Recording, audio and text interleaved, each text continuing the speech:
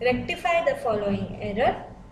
Goods returned from Chand rupees 12,000 were recorded in purchase return book. So goods returned from Chand. This word from is very important.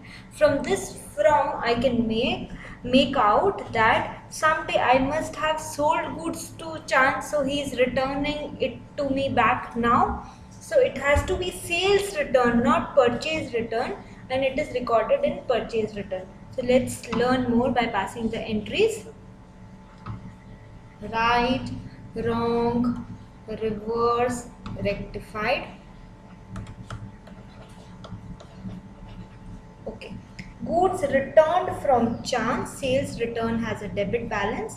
Sales return account debit by 12,000 to Chand.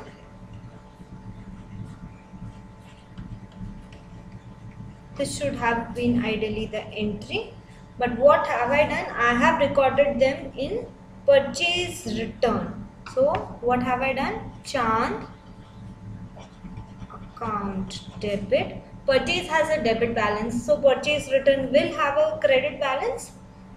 To purchase return. This is the mistake committed. So I will have to reverse it. Just reverse the entry. Purchase return account debit to Chand and now compare the two sales return do I have anything to cancel here so write here sales return account debit in the rectified portion. Sales return account debit 12,000 okay I don't have anything to cancel for the debit. Now I'll check here. Purchase return debit anything to cancel here? No nothing to cancel here also. So what will I do now I will write here purchase return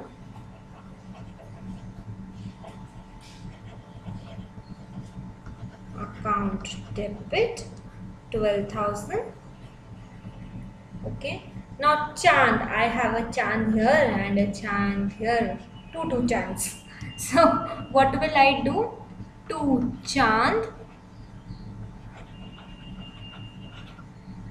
This 12,000 plus this 12,000 needs to be summed up. So 12 plus 12 is 24. So 2 Chand 24,000. This is how this rectification entry will be passed always uh, the words small words like this from is very important from this from word i got to know that this is not purchase return any person will return me only when i have made sales to him so how can it be purchase return it has to be sales return these small things while reading the questions are very important and they don't allow you to go wrong now the 22nd entry. Give journal entry to rectify following using suspense account. Open your eyes. Suspense account. So one side has to be suspense account. A sum of rupees 800 written off as depreciation. Def depreciation my indirect expense and always remember an increase in asset or an increase in expense is always debited so the depreciation when occurred should have been debited now were not posted to depreciation account now this is purely an entry of error of omission not at all posted so when it is not at all posted our works become even easier just post it now. So what you will you write here? Depreciation needs to be debited.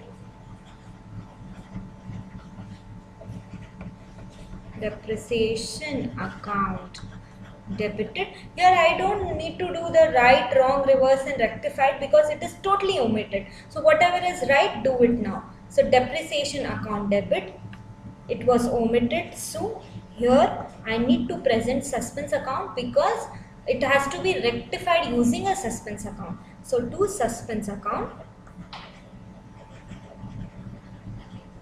if you understand it this is very simple if you don't then there is a problem. You will not know when to put suspense when not to use suspense account.